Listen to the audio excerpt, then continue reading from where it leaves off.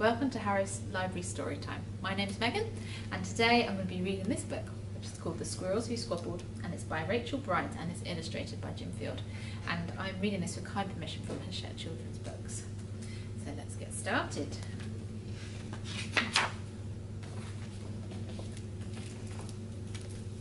In a towering forest where summer had been, the cool air bit fresh and the mosses grew green and as autumn edged in and the sky raged red, the sleepiest creatures got ready for bed. While up in a tree swung a flighty young squirrel who everyone knew as spontaneous Cyril. Now most foresty folk had seen to their nests through the plentiful months of mushrooms and seeds. They'd built up their stores so they'd all be well fed through the frosting of winter that glittered ahead. But Cyril, he lived in the now and the here. He'd adventured and partied his way through the year. So his cupboard was empty, his hollow was bare. He hadn't a mouthful of food anywhere. But wait! What was that? Over there, take a look. A single lone pine cone wedged in a nook. He squealed with delight, and for a very good reason, for inside were the very last nuts of the season. But Cyril wasn't alone. There were more hungry eyes. Yes, plan ahead Bruce had his sights on the prize. Though he'd gathered a mountain of bounty hard fought, Bruce was convinced he was one pine cone short. I simply must have it, he wistfully cried as he dreamt of the fresh juicy pine nuts inside. So as Cyril set off on his way to the ground, Bruce, he was also last pine cone bound, they sprinted and scurried with no time to gamble. They scratched, uh, scratched at the bark in their scampering scramble. But their panic and haste shook the tips of the spruce, and the pine cone it trembled, and then it came loose. Both squirrels gave chase at a lightning pace. This was the start of a wild, nutty race. It's mine, chattered Cyril. No, mine, hollered Bruce. You don't stand a chance. Give up. It's no use. I'm hungry, cried Cyril. This cone is not yours. Stay back, shouted Bruce.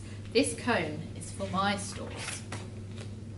It boinged over bushes and flew through the air. It binged on the nose of a slumbering bear.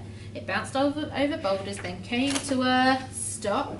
and it teetered and wobbled and quivered and plop. Both squirrels followed. Oh, the water was fast. Would they learn? Would they learn that they needed each other at last?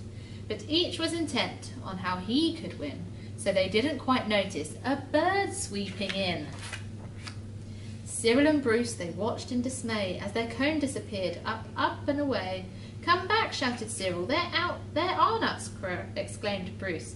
But all hope was gone. It was simply no use and meanwhile they drifted right up to the ledge. Greed, it was driving them. Over the edge! Cyril and Bruce, they had taken a fall. They were paying the price for wanting it all. They'd squandered their chances to team up and share with their nutty young hopes, simply end in despair. Bruised and bedraggled, they swept past dry land. Cyril grabbed at a branch with a trembling hand. Catching Bruce with the other, he heaved and he huffed and dragged him to safety with panting and puffs. They stared at the sky, quite lost in deep thought, until Bruce looked at Cyril and let out a snort. How silly we are, he proclaimed all a jiggle. How greedy I've been, sputtered Bruce with a giggle. We shall change from today. May the squabbling cease. We should celebrate seeing that we're both in one piece. From that day and forward, they made a great pair. They would gather together, and they found they could share.